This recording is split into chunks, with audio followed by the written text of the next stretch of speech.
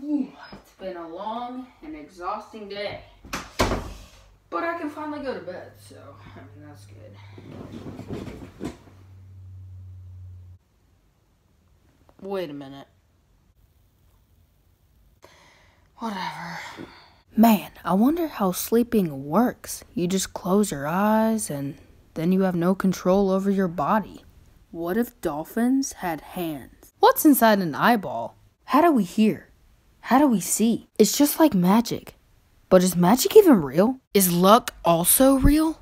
Are monsters real? Are aliens real?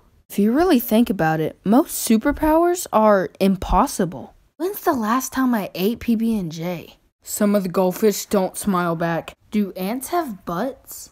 Speaking of ants, more than 12,000 ants can take over one person. So that means ants can take over the world if they really wanted to. When me and my friends become really old, all the 20 to 30 year old YouTubers and celebrities right now will die very closely to each other. Why does cheese get you constipated? If you had a really deep monotone voice and you hummed, could you vibrate the floor? If everyone jumped at the exact same time, what would happen? Are workouts workouts when they don't work out? If you clean the vacuum cleaner, does that make you the vacuum cleaner? What's my IQ? Do toys really come to life when I'm away? Will there ever be a flying car? Will I ever complete my bucket list? What's even on my bucket list? Who would win if Saitama and All Might fought? Why does your nose run and your feet smell? What if Pinocchio said, My nose will grow right now?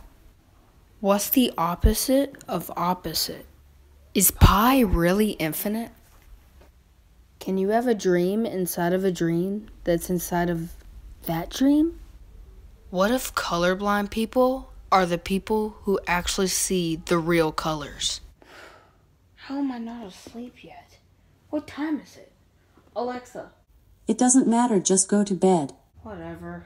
I'm gonna look like a zombie anyway when I wake up. Wait, are zombies real? Oh no,